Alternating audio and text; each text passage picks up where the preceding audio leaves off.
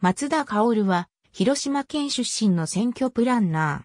京都聖火大学人文学部、環境社会学科卒業。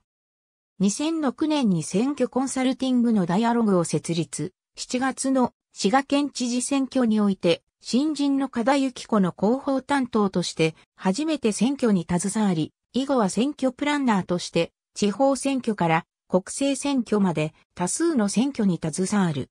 2008年、ダイアログを株式会社として法人化。日本最年少選挙、プランナー、ネット選挙に精通した選挙プロとしてメディアにも多数取り上げられる。新聞や雑誌で国政選挙の全議席当落予想を担当している。選挙が経験や勘に頼りすぎていると発言している。また、投票率向上の活動やネット、選挙運動解禁にも取り組んだ。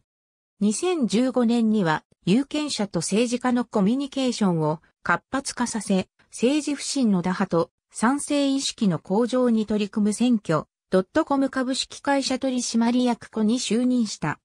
2019年の埼玉県知事選挙では、投開票まで1ヶ月という時期から大野含有の選挙プランナーとして携わる。